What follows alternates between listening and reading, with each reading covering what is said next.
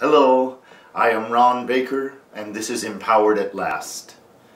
I am so glad to be here doing episode 001 with you. There are so many things that I look forward to sharing with you over this series.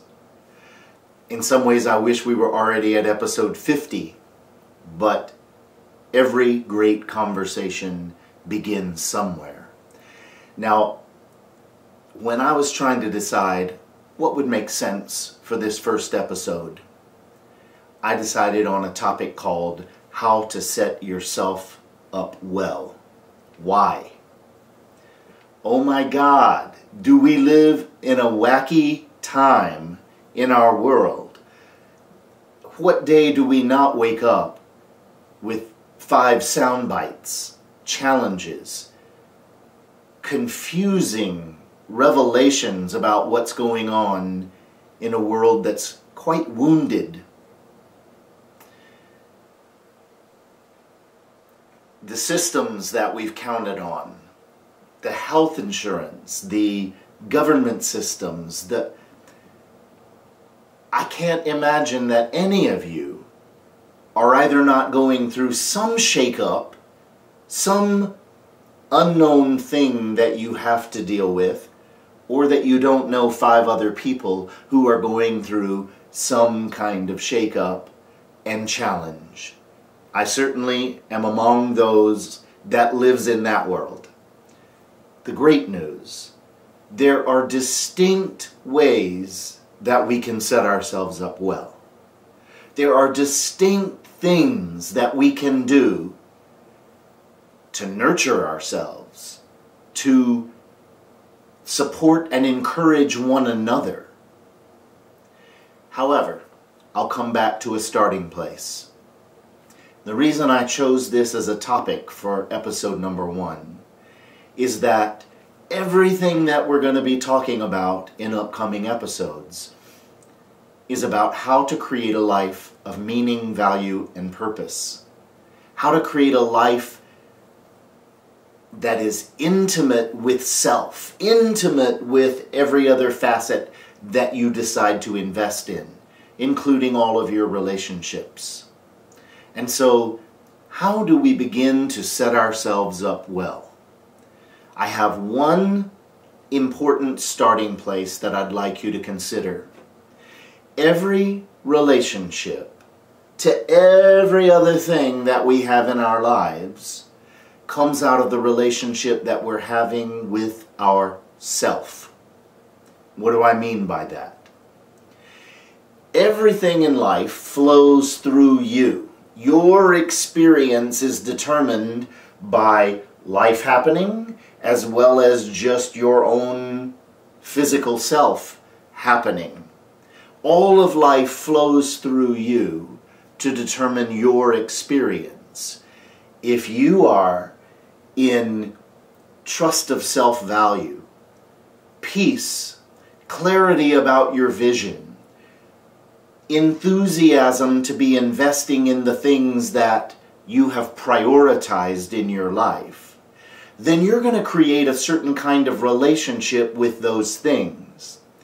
However, if you haven't gotten clear on your priorities, know what's important to you, have a clear, streamlined life that is focused on things that matter to you, then you're going to have a different kind of relationship to life. I call that survival consciousness.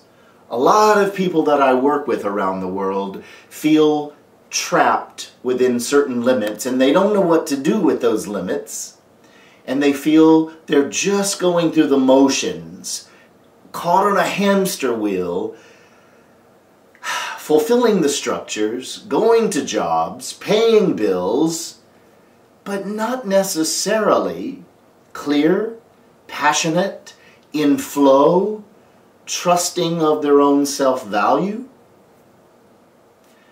We're going to be talking about every one of those things moving forward. And particularly now when we live in a world that is quite challenged and out of balance. Why is that?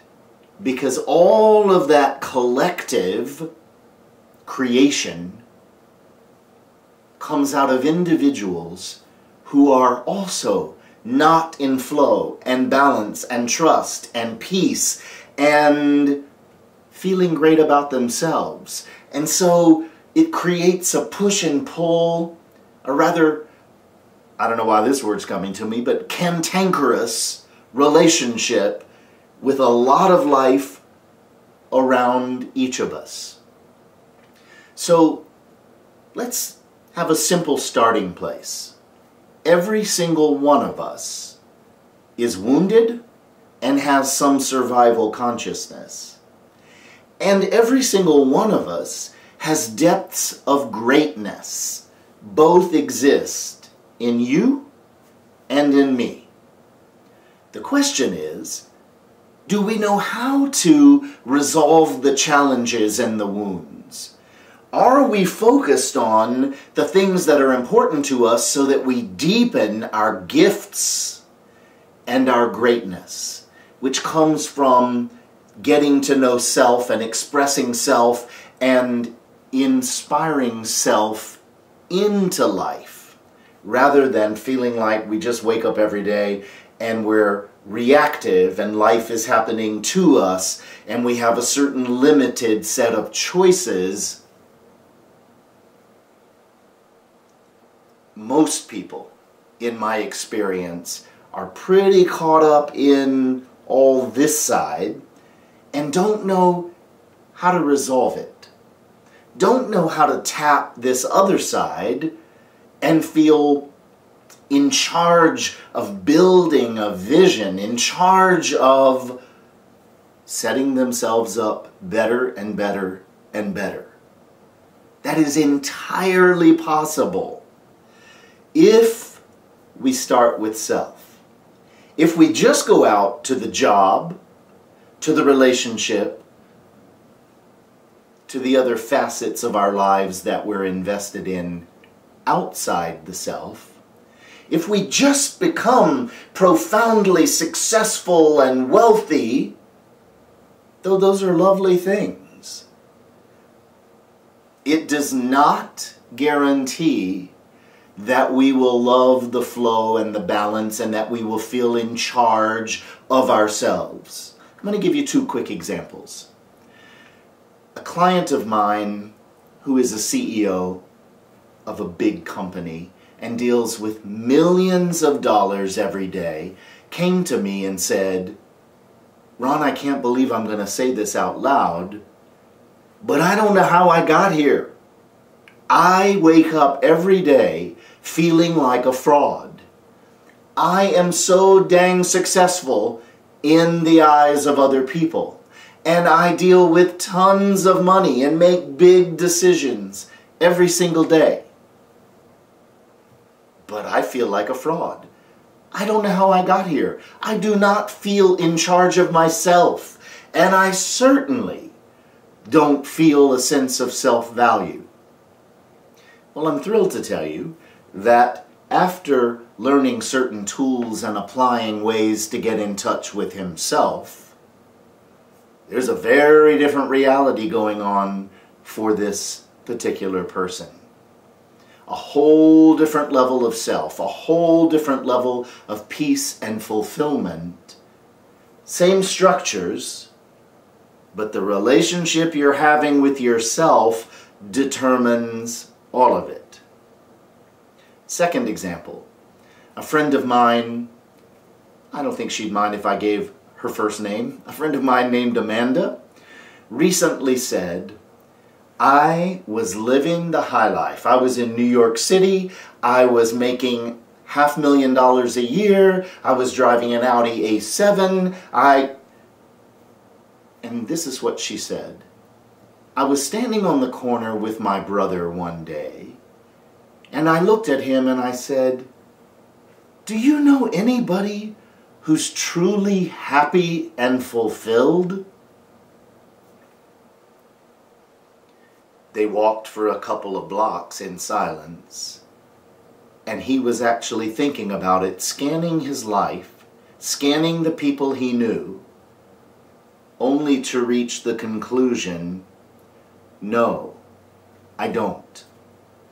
So, this is why I want to add to the beautiful conversation that's going on about how to create peak performances, how to become great leaders and speakers and entrepreneurs. I want to add to that equation simple ways, clear ways to get to know self to start to treat yourself in ways that are going to build and accumulate a nurtured sense of self, a valued sense of self, a peaceful sense of self. So, I'm going to give a couple of practical ways today that you can begin to integrate in your daily life as you go through a lot of familiar structures this week. The first is, my goodness, we are all really busy people. And we have lists of things that we check off every day. Oh my God, have I gotten my 20 things done today that were on my list?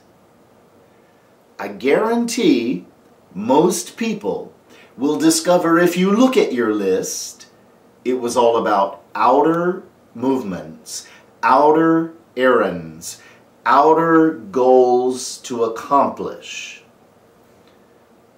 What is missing from this equation is self as the priority in your own life. So, what might you put on your list? Why don't we just start out with, I want to make sure that every day I'm really kind to myself rather than, oh my God, I can't believe I did that and I made that mistake and self recrimination, self judgment. These are very familiar things in a very high pressured world, and all of a sudden you add all of these crises that we've had to deal with hurricanes and fires and governments and decisions and what can I count on from one day to the next. You, no matter what is going on around you, you are in charge of how you treat yourself. I'm in charge of how I treat myself. I have been through a big ass learning curve of learning to set myself up better and better and better. And more and more of the time, treat myself with kindness, nurturing. We're going to talk about how to deepen that and what that means, but I'd like you to discover if you have any clue what that means. Put it on your checklist. See how many days this week you can check off. I was kind to myself. I was patient with myself. I was nurturing with myself. Because if you don't begin to treat yourself that way, your nervous system can't be calm, fulfilled, peaceful, trusting, You determine every relationship by how you treat yourself. You already said that, Ron. Trust me, I could say it over and over and over for this entire 20 minute segment, and it would not be overstated. Treat yourself with kindness this week. Oh, that seems just so cosmic and simple, and anybody could have are you practicing it? Is it on your list? Do you check it off at the end of every day? Oh, yeah, I can think of three times today that I set myself up really well. Let me give you one more in case some of you don't like that one. How about On my checklist is making sure I allow myself a learning curve. I'm going to start at whatever level I'm in and I'm going to get better and better at whatever I practice the most. That is true for you as well. Whatever you practice the most is what you are the best at. Now, these may seem like simple things. Oh, there is such profundity when you strip it down to simple things. Allow yourself to have a learning curve. Allow yourself to make mistakes. Allow yourself to get better and better, to evaluate how can I get better at whatever it is you're practicing, whatever is required in your life. How do I get better at being kind to myself? Let me have a learning curve with that one too, and we can tie both of them together. Bottom line is this in closing for today. You determine much more of the quality of your life than you may have realized. So many things are going on around us. Challenges are coming to the forefront. Well, that's good news because it gives us a chance to begin to nurture everything that's out of balance, everything that's wounded, everything that's hurting and confused in the outer world. Well, how are we going to do that? By practicing it right here with self first.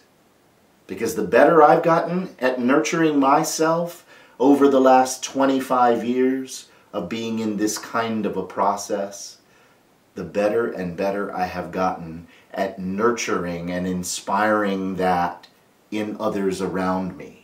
How do you think we're going to ultimately resolve the big issues on our planet? Nurturing kindness, treating ourselves well. This is a huge first step that I'm thrilled to share in episode number one. How to set yourself up well, part one. Kindness, learning curve. Have a great week. I hope that you enjoyed today's episode. Before we close, I wanted to encourage a couple of things. Number one is to go to ronbaker.net. There you will find lots of clues for how you can deepen this conversation. You can also find a way to get the booklet, An Essential Guide to the Nine Nurturing Needs. This is going to be a core focus of how we're going to enhance the quality of your life from the inside out in all the episodes. So I encourage you to go there to get an overview of those nine nurturing experiences that we all seek more than any other thing in our lives. I also want you to get involved in the conversation here. I really would like to talk about the things that are important to you, the things that you're concerned about or excited about. We live in a wacky world that is changing constantly. We need to learn to connect to ourselves, to count on ourselves, and to count on one another. So please either get involved at ronbaker.net or in the Facebook page, which is Empowered at Last with Ron Baker. I look forward to hearing from you. I look forward to deepening this conversation about life. And I close as always choose well, live fully, and by all means, be good to you. Have a great week.